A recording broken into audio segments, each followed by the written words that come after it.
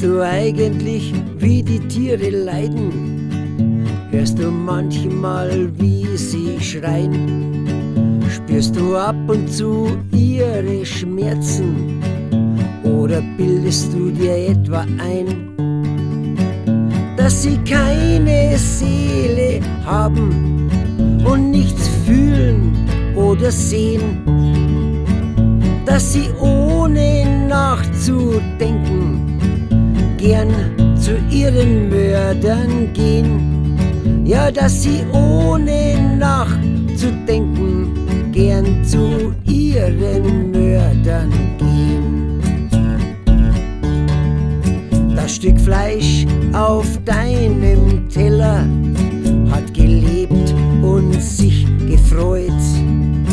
Es ist gelaufen, hat geschlafen, es hatte Angst und war bereit für ein Leben in Freiheit, für Familie und für Glück.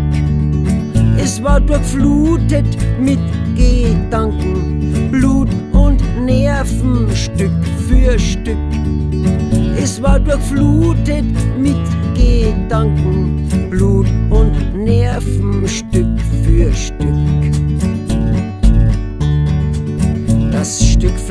auf deinem Teller hatte Freunde, einen Mann. Es hatte Haare, Fell und Augen oder ist geflogen irgendwann.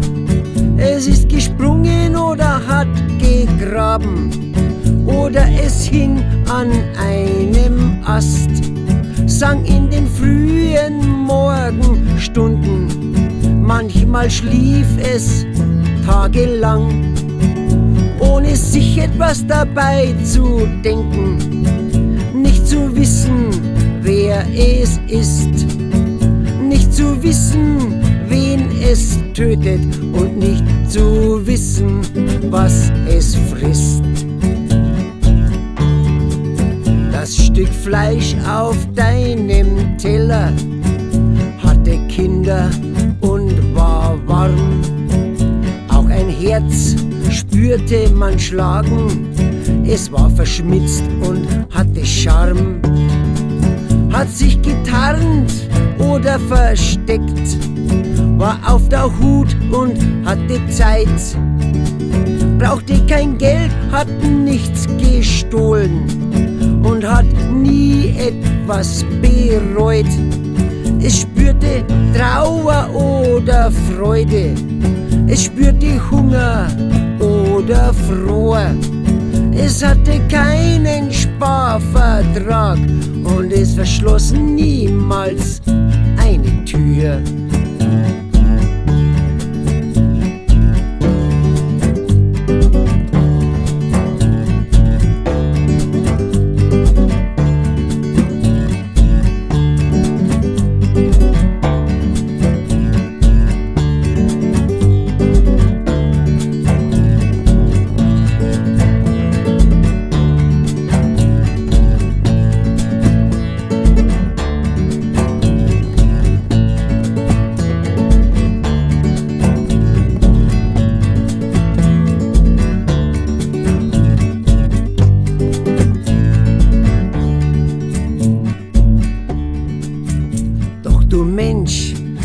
Hattest Hunger und nichts Besseres fiel dir ein, als zu töten und zu schlachten. Und du bildest dir noch ein, dass du darfst, was du verbrichst an diesen Tieren Tag für Tag.